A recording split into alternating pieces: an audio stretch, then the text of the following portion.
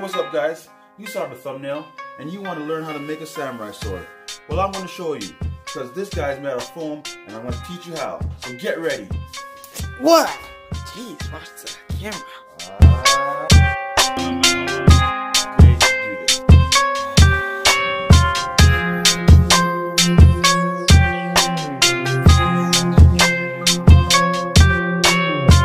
Alright, let's talk about the things you're going to need for this build.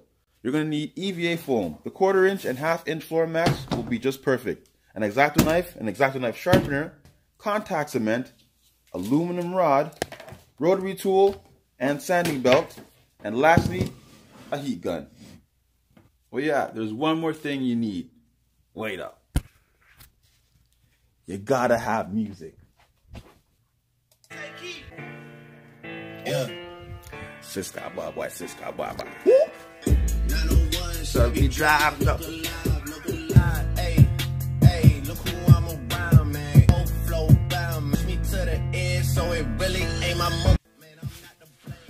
Man, to create something with your bare hands, I can't explain how awesome that is.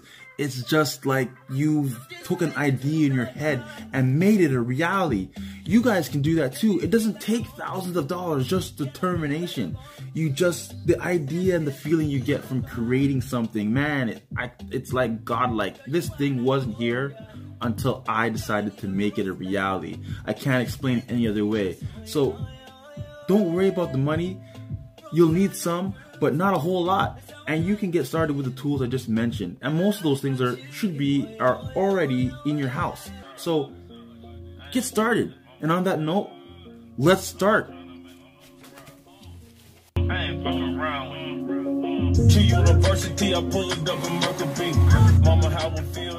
All right, guys, let's get started in this process. First, you're gonna need the anti-fatigue floor mat foam. That's the quarter inch one. Roll it out so you have enough for six copies. If you're making three swords, that's gonna be the required amount. But if you're making one, you'll just need room for two copies. When you roll the foam out, you're gonna need something to hold it down. Anything heavy will do. I use some weights. Next, you're gonna want to create your rough copy design.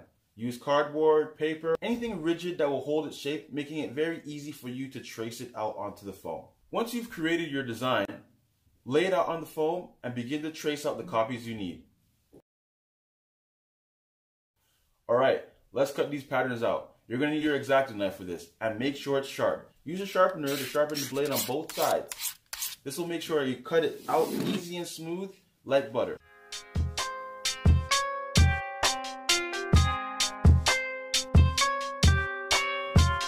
Alright guys, now that your pattern is all cut out, we're going to need to get rid of the textured side of the foam. Don't use sandpaper on this. If it's all you have, okay. But trust me on this, you're going to hate your life. Use the rotary tool or the sanding belt. And the sanding belt is the fastest, quickest way to do this. Alright, let's talk about the aluminum rod. You're going to want to lay this bad boy down on top of one of the patterns. If your sword has a slight curve to it, you're going to want the aluminum rod to match that curve. Slightly bend the rod just enough so that it matches the pattern of your design. Draw a line along the rod on the foam so you know exactly where it's going to lay.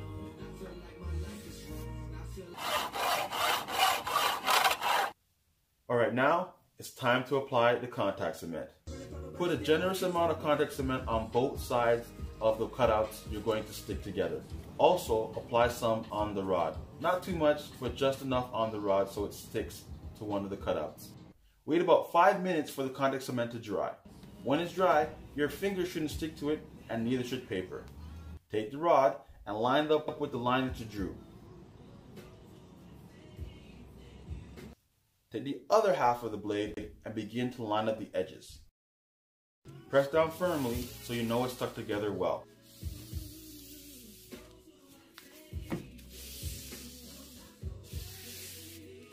Now don't worry if you can see the rod through the foam. This is going to be a good indicator to show you where the blade should begin tapering down to the front.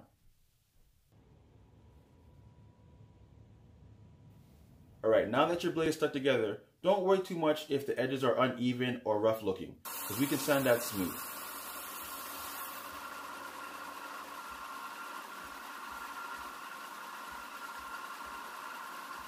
Now, you want to take your, your blade design and draw a line to indicate where the handle is going to start. And once you figure that out, we're going to start sharpening the blade. We can use a sanding belt or the Dremel to do this. I like to use a sanding belt for this job because it feels like I'm getting this blade ready for a ninja or samurai master who just can't wait to get it. you gotta geek out every so often because if you're not gonna have fun, what's the point in doing it? As you sharpen your blade, just keep in mind, don't make it too sharp because you end up with a very fragile tip. Keep it thin enough that it still looks like a sword, but thick enough that it will hold its shape.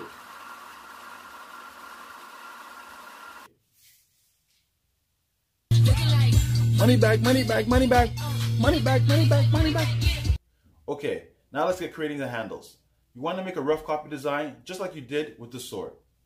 Once you create these designs, trace it out onto the foam. Use a sharp X-Acto knife and cut out these designs. Let's get back to the blade.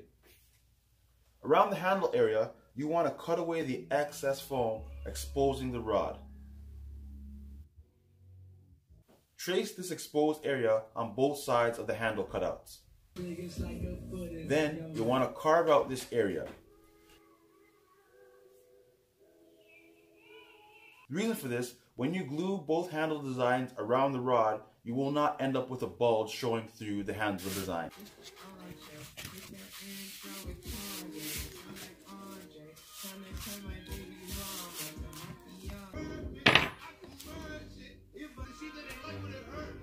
Once you're done gluing it together, sand down the sides and the bottom of the handle, and you could also taper the edges for a much cleaner look.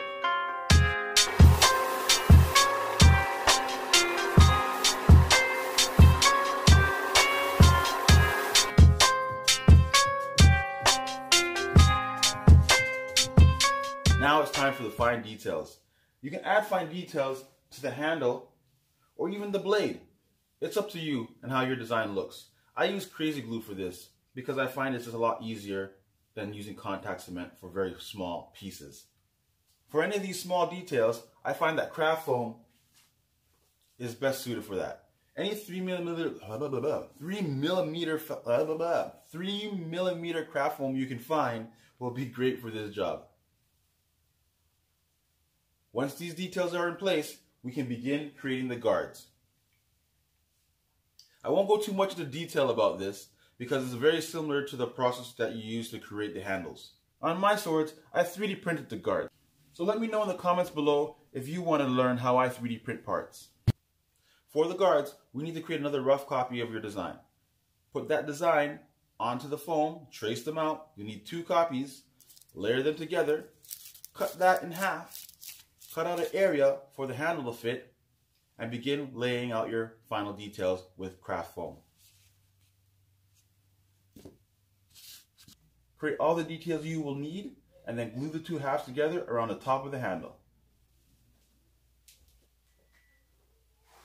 Now we can talk about scabbards.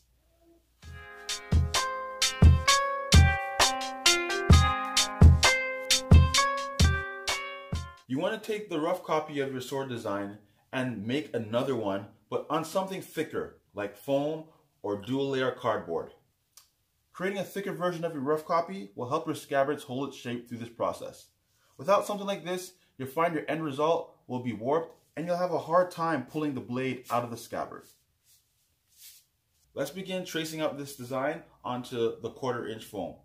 Make sure to leave about a one third of a gap around the edge of your rough copy design while you're tracing. This is going to make it easier for when you lay down the side panels of the scabbard to be glued down later on. For the side panels, you want to measure the thick side of your blade. Make sure when you measure to leave some breathing room so again it will fit and slide in and out easy of the scabbard.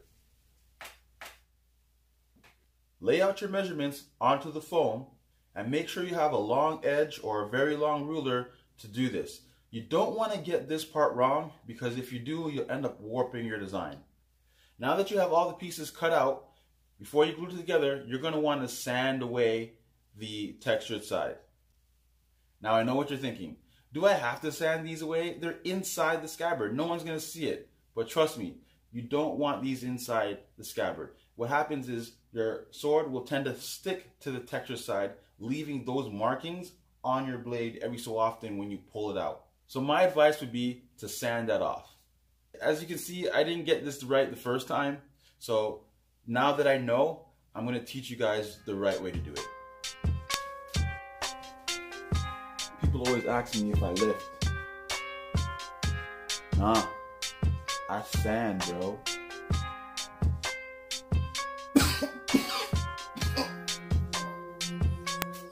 I should probably clean that up.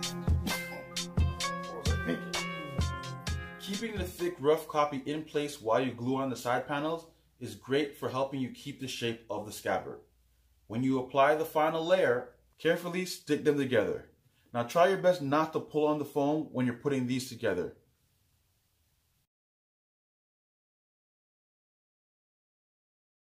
Start from the bottom and work your way to the top. Now that you're done putting this together, you can begin sanding down the sides to get rid of any rough shapes and taper the edges to help smooth out the design.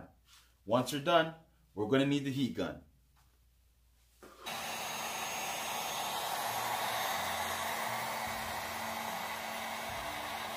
Gently apply heat to both the blade and the scabbard. This will help seal the foam and close up its pores to further smooth out your design. You can use craft foam again to apply any of the minor details that you need on your design. Roll tide like pearls. That's how I like my baby. Like I like my chicken, boy. Alright, it's time to seal your foam. Use Plastidip or Flexidip to get this done. When you apply it, I normally do about four coats or five coats, you want a look similar to leather. It shouldn't look like foam. You want to see a, a nice thick layer of plastic so you have a surface that's ready for painting. Now you don't want to go too crazy with this. Just apply a nice light coat for the first one and let it dry. If you go overboard with this, it will clump up and start to drip. You don't want that. Some people suggest putting your spray cans in warm water for about 30 minutes before you paint will help your spraying process. I've heard a lot of cosplayers having a lot of trouble spraying in colder climates and in the wintertime, so I find this helps me out greatly. Now on to the fun part. It's painting time. Make sure you mask off any details that you know are going to be different colors. Use painter's tape for this and begin creating your colors and your designs. Unfortunately, I won't be going into the samurai patterns in this tutorial. I used YouTube to figure this out and you should do the same. There's a lot of great tutorials on how to design this and a bit of trial and error, but I ended up getting the look that I wanted. Well, that's it for today guys. I really hope you enjoyed this tutorial. I put a lot of effort into it to make sure I explain the process uh, clearly for you guys to be able to create your own samurai swords. Let me know in the comments below if you have any feedback on how I can improve it. Let me know if I'm on the right track. Give me a thumbs up, subscribe, all that good stuff. Well guys, enjoy your samurai swords and until next time, take care, enough props.